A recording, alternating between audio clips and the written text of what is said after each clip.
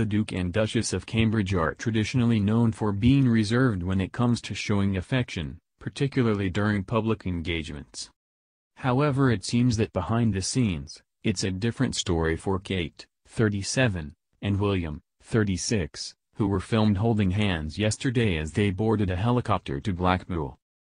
The couple, who have been married for almost eight years, may be taking a leaf out of Harry and Meghan's book, as the couple are known for their affectionate displays.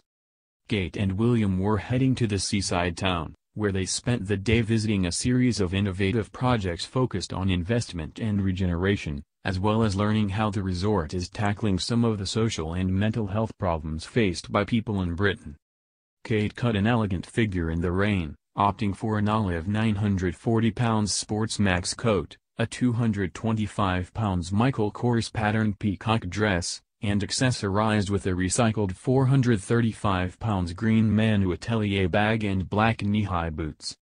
The new video, taken by a royal fan outside their Kensington home, has pictured the Cambridges putting on an affectionate display ahead of their arrival to the public engagement yesterday morning.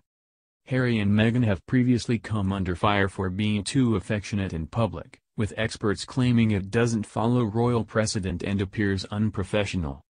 But the Duke and Duchess of Sussex's more relaxed and personable approach to public engagements now appears to have rubbed off on the more formal royal couple, whose latest tactile display is one among a series in recent months. Shared by royal fan Juliana Campos from London's Kensington Palace Gardens, the video shows the Duke and Duchess of Cambridge smiling as they stroll to a waiting helicopter behind the palace. Walking hand in hand, the display is a far cry from their usual more formal appearances and appears to follow the newlywed Sussex's more affectionate mannerisms. Etiquette expert William Hanson previously told Femail that he felt it was unprofessional for royals to show affection or emotion in public. Questioning newlywed Meghan, 37, and 34-year-old Harry's tactile displays during their Australasia tour last October, he said, There is no protocol rule that says royalty cannot touch, just precedent and common sense. Do not forget that royal engagements are professional environments. It's work. If Harry and Meghan were not who they are and worked for any other firm, they would not be allowed to walk down the corridors holding hands, cooing over each other. However just weeks later, in November, Prince William was pictured as he wrapped a protective arm around his wife during the armistice commemorations, a dramatic departure from his traditionally more stiff public appearances. Speaking to Femail, body language expert Judy James said at the time, now that Meghan has joined the firm, her own determinedly tactile behavior with Harry does seem to have had a profound echo effect on William and Kate's rituals. Normally it's a younger sibling that will mimic or mirror the older, but in Harry and William's case it seems to be William taking his lead from his younger brother and his wife. Judy says this could also be down to the couple not wanting to offer any hints as to the state of their marriage in the manner of William's parents, adding, Diana and Charles created a body language soap opera with some expressive displays of nonverbal behavior. William seems to have cautiously erred on the side of bland, with their total lack of PDAs meaning there have also never been signs of rifts, fallings out or disagreements either. Judy added, when a couple have been married several years it can often take family newlyweds like Harry and Meghan to rekindle some more public displays of romance like this. On Wednesday Kate and William spent a busy day in Blackpool, greeting royal fans outside the Blackpool Tower, including a group of adorable youngsters who greeted them with flowers. The pair, sheltering under large black umbrellas, were greeted at the landmark mid the downpours with cheers from a crowd of several hundred well-wishers gathered outside on the promenade, including youngsters who charmed Kate with bunches of flowers.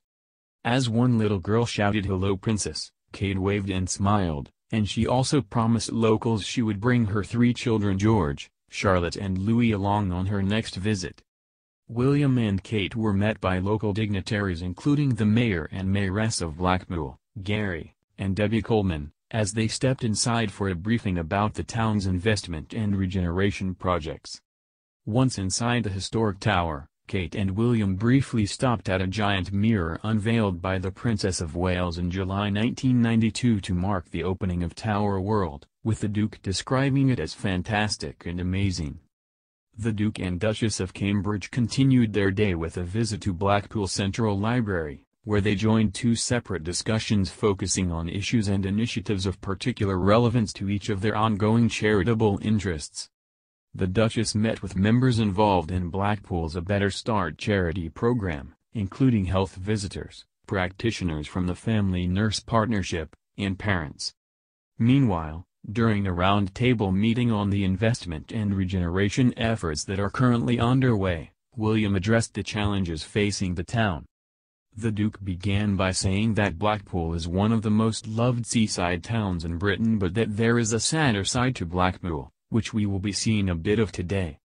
He talked about how they would be seeing the new future planned for Blackpool. Speaking about its history, he described how it was once a jewel in the crown of the British tourism industry before people began to travel further afield for their holidays and it faced economic decline and unemployment. The royal couple also learned more about Blackpool's A Better Start program, one of five such 10-year projects in the UK funded by the National Lottery Community Fund. Meanwhile Kate and William's joint engagement came as Harry, 34, and Meghan, 37, made a surprise appearances on stage at children's charity We Day star-studded event in London's Wembley today. The Duke of Sussex made a speech on stage, cheered on by his pregnant wife, who looked business chic in black skinny jeans and a navy blazer. The princes and their wives have had a busy week of engagements, and were pictured together for the first time since Christmas as they celebrated Prince Charles' 50 years of service at a Buckingham Palace reception thrown by the Queen on Tuesday.